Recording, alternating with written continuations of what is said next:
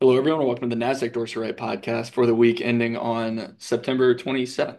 Uh, my name's Ian Saunders, and uh, joined once again here by Miles Clark. Miles, good, good to good to be back. Hey, Ian. Yeah, it's been a been a bit since I've been on, but uh, always nice to be here. Yeah, it's uh, you've been doing a lot of traveling. I It's, have, yeah. it's it's been good. You've been on both sides of the country. They call me Mr. Worldwide. They they do. That is your nickname here on the office. This is actually uh, a toupee. Miles is actually bald here for trying to imitate Pitbull. Um, That wouldn't that be funny? Put on a right, ball right. Um, Just but fireball. but no, you were uh you we, we were both out of Future Proof two Yeah. weeks ago. Um, it was a good conference um out there in California, sunny sunny Huntington Beach. Um, nice area to to be in. Um, and a lo- lot of good conversations with advisors I know that we were having out there. Um, I wish we had the relative strength o-meter here that we could show everybody on the podcast. Yeah, just put it right here, plop it down. Exactly. relatively strongest. So we had, for those of you who weren't at Future Proof, which is probably some of you who are who are listening, we had a really cool. It was like an arm wrestling contest, relative strength deal that you know you went up to and you and you had an arm wrestling contest uh, against, and if you were in the top portion, uh, you were pretty strong. Yeah. I was not, but Yeah, you weren't arm wrestling Miles or I. Let's Yeah. just get to make that clear. You're arm wrestling a machine, and that machine was rough. Like Really it was, strong. it was hard. I barely got a four. Um, so out of the score from zero to six, barely got a four. So I made it in the portfolio, thankfully, but uh, ba- Yeah. ba- barely got there. We only had two. the fifth on where I where I was. We had two people that uh, two people that like sent it all the way over. Um, one guy, if, if he is listening, he he told us he hadn't lost on an arm wrestling match in 15 years. So uh, that machine was made for him, I think. Um, but it was a it, it was a great event. Um, and then you were up in uh, you were up in New York as well earlier this week uh, with some more clients, right? So I was. Yeah, it was uh, super fun. Nice to get up. Nice to get up there. Always nice to be in New York, but uh, it was uh, trafficy. So I think I prefer the the speed of Richmond a little bit more. But uh, you know, New York, never turn it down. yeah, no, Got myself a New York slice there you right go. while I was up there. There you go. There you go. It's probably a little bit better than slices here around Richmond. Probably. Um, but yeah, it's good to good, always good to be out and good to good to get in front of clients. Um, we'll be doing more of that this fall. We got some got some events and stuff coming up, so um, definitely be sure to to reach out to us or check things out. We might be coming coming to a city near you soon.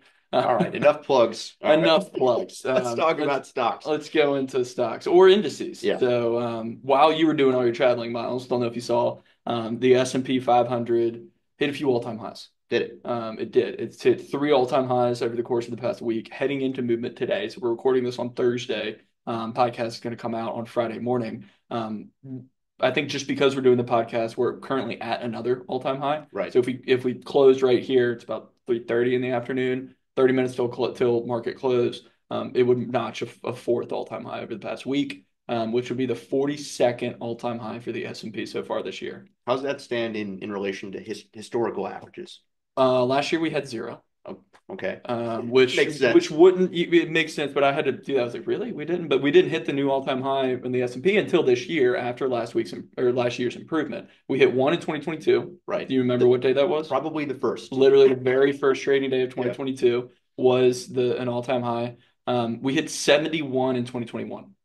So that was a lot, the most since 1995, I believe. So we've seen other periods. 40 honestly isn't that it's a lot, but Right. it's not abnormal. Um, when we see years of a lot of consecutive, when the market's just at highs and slowly ticking higher, you're going to get a lot of these all-time highs. Right. And they tend to kind of after day after day. Right. They'll occur in clusters. You'll get three or four in a row, few off, three or four in a row, a few off.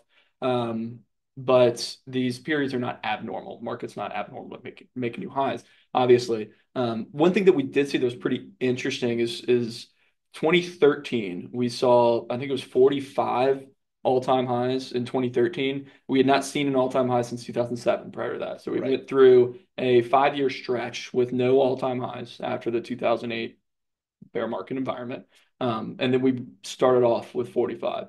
We get a bear market last year. We're currently at 42. Hmm. And then that 2013 through 2021 saw at least a few all-time highs printed. Uh, Actually, at least 10 all-time highs printed in at some point in every year. Um, Making many years, call here? many years saw many more. But I mean, I don't know if I'm ready to make the call of eight consecutive years of all-time highs, but you do see these happen in clusters. Right. I think is an important thing to note. And the fact that we saw a bear market in 2023 and we were this quick to another 40, 40 bagger Right. from an all-time high, it's pretty it's pretty quick. Um, so we'll we'll see if we can continue out with clusters for moving forward, but at least that that's what's tended to happen historically, right? Yeah, and one thing I noticed from that chart that you threw in, and we'll we'll throw it on the screen now. Yeah. But I mean, you go through periods of, you know, instances or, or, or elongated periods without all all-time highs too, right? So you they kind of cluster, and that makes sense, right? You saw like 2000, you had one, and then you had the dot-com bubble burst. Of course, then you got a couple in 2007. Then you had clusters of years because of these massive downside moves that you're seeing when um, you know you have these big retreats.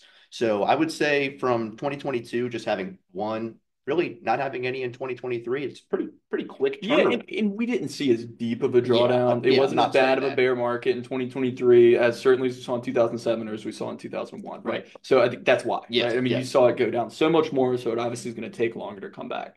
But still, I mean, the data is what it is. They they do tend to happen in clusters. Um, we'll see what plays out kind of moving forward from here. But I mean, back above 5,700 or back above um, now above 5,700 for the first time. I mean, is is I think indicative. So the, the title of the piece that we put in the report yesterday was reasons to sell. Um, a little bit of tongue in cheek because we, we have another chart beneath it that runs through all the different potential negative catalysts that could be. Have, we just we threw 18, I think it was on there. Um, just negative news headlines that might have affected market moves if if you were thinking about it in the moment. Right. It's a lot of potential negatives as we look out over the next few months, six months, year. I mean, you got. We're not going to talk about the election. We're not Nope. getting political on here, but that Yeah. some people might view that as a negative catalyst on, Right. on both sides of the aisle. Um, you could have the, I mean, there's a lot of geopolitical conflicts going on. The Fed lowering interest rates is certainly, I mean, it's we're at Right. all-time What highs now. What that? happens moving forward? Yeah. Are they lowering for a reason that we don't know? Like, who knows? Right. A lot of stuff that could happen. But that reasons to sell. I mean, the market just continues over time. You see corrections and pullbacks, but it continues going up and to the right. And we're not like super extended right No. now. It's a pretty good looking technical picture. Yeah, I'd say, and, and that kind of brings it full circle, maybe to a broader point that that that we preach all the time, right? Which is there are always reasons to sell. There are always uh, headlines, right? Because in order to garner clicks, people are negative, right? And so nobody wants to be the guy who says markets are going to go up this year, right? Yeah. Like that's not special. That's not making a call. That's not differentiating yourself from the next guy who says, hey, like if this happens, the markets are down 40%. Like people click on that, right? So the point is, is that there's always going to be reasons to sell. There's always going to be negative headlines. And so, you know, finding ways, in this case, plugging Dorsey Wright stuff, um, you know, it, there's it, finding ways to kind of cut through that noise, cut through those headlines, certainly a help. Yeah, yeah. Fear is not a reason to sell. Exactly. Yeah, Right. that I think that's the the biggest point. I mean, there's Well always there's always going to be stuff out there, but to your right? I mean, we regardless of how you use our stuff, um, or if you use our stuff, but our stuff's the process, right? Right. We- We're we're we're we're pitching a process. Whether you use ETFs, funds, website, just listen to the podcast. We process oriented stuff, right? Cover up the name, objective reasons, up or down. What what can we look at moving forward? Right. Um, and, and it's just that process is. I mean, it's, certainly might be reasons to sell, but it's a sell process, right? You want to have something in place ahead of time so you're prepared on what to do when something happens. Right. And you're not just reading the headline that scares you, right? You're you're actually saying, okay, well, this is a legitimate issue that that is actually showing in the price that we're seeing. Right, right. Yeah, just kind of we're we're following the trends and let the trends kind of play out as they are. And one of the trends that has been playing out recently um, has been some some interesting movement in the dollar. So so we talked at a little bit in last week's podcast. I think Trevor and I talked at the tail end. We talked a lot about breadth improvement and good stuff that was happening from the rate cuts, and we saw that play out with all-time highs. Um, on the on the the negative side, I guess just lower moving side has been the dollar. The Right. dollar saw sharp downward movement after the rate cuts last week. Um, and that movement, at least at the time of this recording, we saw a little bit of a, a step lower and on Thursday afternoon trading for the dollar. Um, not substantial from like a PNF chart perspective, but just looking at the daily movement, it was a, big move lower. That 100 level for the dollar is a pretty important point, it seems. Um, I mean, it just sounds important, right? Yep. Um, but it it definitely, if we see some further, it's kind of the bottom of the range that we've been in um, throughout throughout the the past year, 18, tw- almost yeah, year plus, 18 months, let's say. Um, and if we see a break beneath that level, I mean that could have some pretty interesting effects for other asset classes moving forward. Yeah, I'd actually have a question for you. So, you know, we have historically said the dollar is one that tends to trend, right? You see signals leading to consecutive signals, trends leading to maybe more trends. We haven't really seen that over the course of the last, you know, like you said, about two years or so. Now, how do you, I'm not going to go making trades on the dollar or anything, but what do you think is at this point more significant? Holding that 100 level or, you know, kind of moving lower, changing trends or returning to a buy signal? Like, how would you read where we are, right? Like you see this kind of decline, you see rates fall, right? So the dollar isn't as attractive from an international perspective uh, as as kind of rates are coming down. So there isn't that tailwind from maybe a fundamental perspective. But how are you reading this chart? Like, are you looking for a reversal back up? Like, is that confirmation? Or like what are you looking at for this specific instance? Yeah, I mean, so the way that the way that we're we use the dollar and for a lot of different ways from like a maybe more of like an indication perspective on what to look toward. Um, we've also run some pieces using it as literally an indicator for are you gonna based upon the trend of the dollar, are you gonna be you invest in unhedged or hedged developed international equities? Um, that obviously worked out very well because we got multiple consecutive signals for several years prior. I think literally we were standing on stage a year ago um, a, a, year ago last week in, in Vegas at our annual symposium, um, talking about how well the dollar trends. Yes. And then that ended the streak right there. Right. Um, with that that buy signal we got in August, end of August of last year, and it rattled off to to just go for move forward from there. But I think the interesting point, we also started coming out with that piece around the same time. And when you look at the movement sense for the dollar, we had that buy signal. We got two consecutive sells, then we got two consecutive buys, and now we're back to a sell. So if you did just follow the trends, even though they are choppier, it still worked out better than if you didn't take those trend changes for that dollar movement. Because even though it's not the the magnitude of the excess returns, I guess, wasn't as great it was still there were still excess returns, if right. that makes sense. So yeah, it's just been sense. more muted um, alpha, I guess, right. from from using the, the dollar trends, but it's still been beneficial. Um, so I mean, take that for what you will. Is it going to be beneficial moving forward? Probably because I just said it, maybe not. But um, but I, am honestly just looking at that hundred level more. I think we right. just kind of we, we let the trends play out as they will. Um, the consistency is definitely something you look for, and I think we, looking we're the, the chart is helpful because it has been so consistent over time right. even if it hasn't been as consistent over the past year. Um, and so that 100 level i mean you look past that 100 level clear support at that 100 level from july of last year you're looking down at 9550 for further support. Right. It's a big drop. It is a big drop and, but we weren't there that long ago. I mean we were there in 2021 2022 you look historically we've been lower than that for longer periods of time. I mean you go back into 2011 2013 we got down to 73 in 2011, right? So we've been significantly lower over the past decade than the current level we are now. So if we break through that 100 level, not saying we're going to fall back to 73, right? But there is room to move to the downside. Well, and and too, when you look at these established ranges in the in the near term, like buyers or bulls there are going to be very, very keen to defend those levels, right? right? So if you kind of have a breach of that, I won't say, you know, you're not going to fall straight down, just like you said, but you are going to run into those instances where, you know, it's a little bit of uncharted territory and there's some maybe confusing price action around that level as as as the battle with supply and demand plays out, you know, because you did violate this massive level of, of support before. So just keep that in mind. Now, talking about areas that are impacted by the dollar, right? Internationally, we've seen a lot of action over the last week.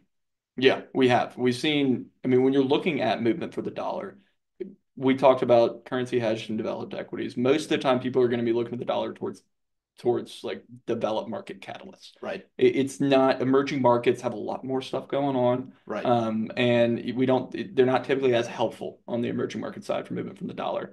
Um, so we've seen haven't seen a ton of movement from developed markets because we just haven't broken through that level maybe right, right, right. for the dollar yet.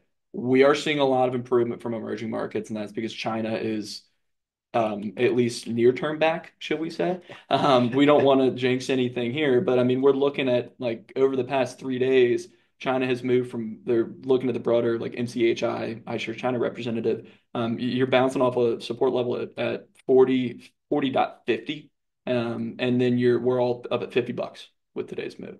That's a massive move. We're up 8% at the time of this recording on Thursday. We've gotten two consecutive big stimulus moves from the Chinese government this week. Um, David put some nice pieces in the report kind of outlining uh, earlier this week on like what those were. We got more today. People were saying, "Is that enough?" And China said, "We heard that. You want more? We'll Turn give on the you." money printer. So now it's like, where else are they going to keep going, right? Right. Um, and, and that's definitely paying paying dividends. We're new, new uh, 52 week highs for for MCHI and a lot of their Chinese equity representatives. Now, I'll ask you the same question I asked you on the US dollar. What are you looking for? Because at this point, I guess we would have said this a couple days ago when we saw the first 8% move. Like you would say, well, I guess you kind of missed the move, right? But like now we're up another 8% Yep. intraday today.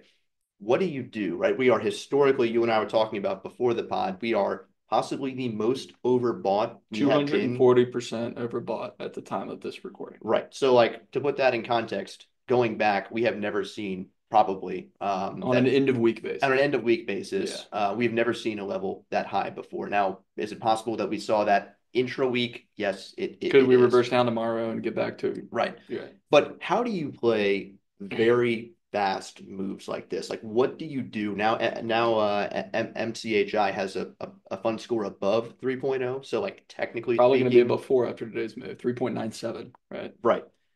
Poss like probably it's it's technically actionable now, but we are heavily overbought. So how do you navigate this territory from from your side of things? Yeah, I think that China China moves quick, right? Right. And it, it- this is nothing new, Right. right? It's been very quick to the upside, quick to the downside. Unfortunately, recently it's been a lot more quicker movement to the downside.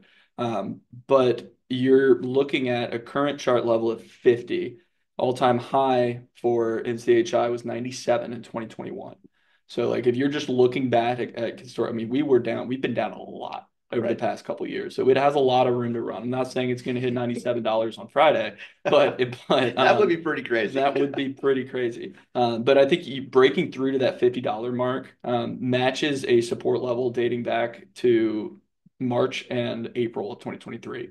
And that was a pretty notable support level that it we got to once in March, uh, twice in March, once in April, almost got back to there in July of 2023, and then fell another step lower back Right. down into the, the, the low 30s.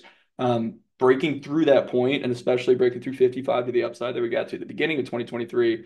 I mean, that level, if you're just looking back at that $50 mark over the past couple of years, it's been very notable. So if we're able to continue that improvement higher, you want consistency, Of right? course. Yeah. I mean, that's what you want. Would I be buying MCHI at fifty dollars today? Maybe not. Right. I, I, I, if you, you might be able to get a better price tomorrow. Right, Um, right. If it's two hundred forty percent overbought, we'll see what happens tomorrow. Um, but you want consistent. We only own one buy signal right now. It just bumped up against its trend line, passed the test of its trend line, went up, gave a buy signal. It's up another fifteen percent since that buy signal over the past three days. But that one buy signal is not necessarily. I mean, like to see a couple in there back to back. You like to see more consistent improvement. Um, big stims like that, while they are frequent for more frequent for China versus maybe other areas, um, you you might get a little bit more of an opportunity to buy on some of the more consistent movement too. Yeah, and I'll say like the international space is is is um or at least the emerging part of the international space is is pretty wide open from a relative strength perspective. I mean, there's there's parts of Europe that are are pretty strong. So emerging Europe, developed Europe, both of those are, are pretty strong. But you look at like Latin America, that's been a poor performer, relatively speaking, on the uh, on, the emerging front. So there is some kind of relative strength, I would say, up for grabs for China specifically and, and that kind of Asia group there. So that's something that I'm I'm personally watching is how much of of long-term relative strength, given that we see a pullback from China, you know, saying that we're so overbought. Uh, but saying that we're so overbought, we get a little bit of a pullback. How much of long-term relative strength can can Asia grab uh, Yeah. on the on the international front? Right. I mean, so we look at like 42 country index representatives in a ranking. Um, prior to Thursday's move, prior to the 8% move we're seeing today, um, China moved from 38 to 35 in those rankings. Right. So it was down near the bottom and then it jumped up a few spots. Highest level it's been at in 18 months with at 35. So it's it's definitely improving. Um, but we haven't to that consistency perspective. You need more consistent improvement if you're going to get more relative strength move, right? Right. And uh, you're probably going to need a little bit more back and forth because that might create a common reversal that makes it easier to move higher moving forward, right? Right. Um, so wouldn't be surprised to see it back off from that $50 mark before ultimately like pushing further higher, pushing higher through it um, would be the ultimate, uh, obviously, end goal for those that are bullish on Chinese equities. Um, Cool. Yeah, I mean, I, we'll, we'll see how that shakes out. we will. Yeah, and, and, that'll be something that uh, probably won't be a, a, deal over the next week. Although we we we're at fifteen percent over the past week, so we'll see. It's possible. It's possible. We'll see what happens there, but that will probably we'll probably have more time to talk about that in Q four. Yeah, I'd imagine. Yeah, end of the end of the quarter, I think it's been a pretty productive one for a lot of the a lot of the names we typically look at, like we already talked about, S and P, hitting all-time highs. The growth-focused areas have not rolled over like I think we were concerned about to start the third quarter, kind of in that um, you know August, kind of beginning of September type of deal. We were a bit concerned. We saw growth roll over a little bit. That hasn't really been the case. We've seen that kind of surge back. Value is also doing well. So I, you know, there's a lot of areas in a traditionally weak part of the year, like September, like the third quarter, you know, there's a lot of, of, of good things occurring as we move into a traditionally strong period of the year, which right. is the fourth quarter. And I think Chuck had some. I don't. I'm not gonna. I'm not even gonna try to get at the exact stats because I'm, I'm not gonna do them justice. But I hope this is directionally right. Um, Chuck had a, a stat that he was looking at that September has had very bad years, but when it's strong, right. the rest of the year I think tends to be pretty strong right. too. Um, and so, I mean, there's we see that from the election standpoint. You put a good piece in the report last week saying the the Q4 of election years are have been positive 75% of the time um, over the past 100 years. It's a pretty good hit rate. Yeah. Right. Um, we'll see what shakes out over October and, and kind of heading into that. But um, it's yeah, there's there's there's a lot of potential, I guess, that we could look toward. If you if you told me at the beginning of September that we are going to be at all time highs at the end of the month. I would have been probably a little bit surprised. But then again, if you told me in January that we were going to hit 42 all-time highs this year, I would have been pretty surprised too. And here we are. Right. Right. Oh yeah. I mean, you know, markets are moving and and, and going back and, and briefly touching on that election piece. Uh, you put it well a couple quarters ago, and when and when we when you put that piece together, but a lot of that stuff isn't necessarily who wins. We're not sitting here talking about Trump or no. Kamala. We don't want to open that whole can of can of worms. But markets are concerned with uncertainty. Yeah. Right. And so when you don't know who's winning, or you don't know, you know, what policy is going to be coming into play over the next four years, that's when things can get a little bit dicey. But typically speaking, after the markets kind of digest who is winning, or or who has won um, that uncertainty fades, right? And so markets can digest everything and then appropriately price that into the market and move on. Exactly, yeah. And so that's when you know you, you when you have concern or uncertainty about what's going on, that's when things can get a little bit dicey or, or hairy. But yeah, yeah, that's typically not the case in the fourth quarter of an election year. Yeah, we'll see. I mean, there's always there's always room for uncertainty, but like right. I said, there's a, it's always going to be reasons to sell. So yeah. that's uh, um, yeah, I, I think think that uh, that puts it well. Um, so I think that wraps up most of what we're looking to looking to hit on. At least I'm out of charts. I don't have any more. I got nothing. You cool. doing anything fun this weekend? No, no, not not at all. Um, yeah, that's the trying to take uh, trying to take my dog out a little bit more. Um, so that's what about you? Nothing. There we go. Both of us. Are maybe going. we should find something to do. yeah, man, just uh, shoot me a text. Yeah, there we go. Uh, great. Well, hopefully you all are having a more exciting weekend than Miles and I. Uh, but thanks for tuning in and listening to us this week, and uh, we'll be back next week. Cool. See y'all later.